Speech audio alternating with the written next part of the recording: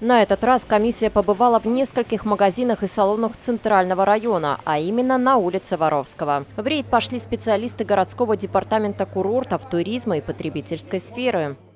Сотрудниками департамента, совместно с сотрудниками внутригородских районов, данные мероприятия проходят еженедельно. С начала значит, года было промониторено порядка 6 тысяч объектов а, потребительской сферы.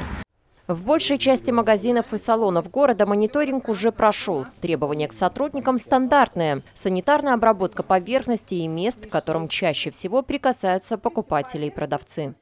Мы рекомендуем обрабатывать каждые два часа все поверхности, с которыми может а, соприкасаться потребитель. Значит, обработка проводится при помощи а, разрешенных дезинфицирующих а, средств.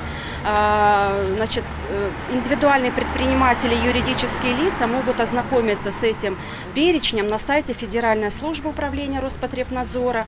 Сезон продолжается, на улице по-прежнему жарко. И в Сочи, как и всегда в это время, увеличивается количество обращений в больницы с острой кишечной инфекцией. Поэтому покупателям рекомендовано иметь при входе в магазин одноразовые маски и перчатки. Члены комиссии сочли, что все проверенные заведения соблюдают правила, но проверки продолжатся, они проходят поочередно в каждом районе Сочи.